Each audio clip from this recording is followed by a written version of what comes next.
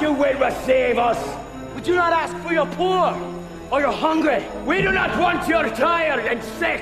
It is your corrupt we claim. It is your evil that will be sought by us. With every breath, we shall hunt them down.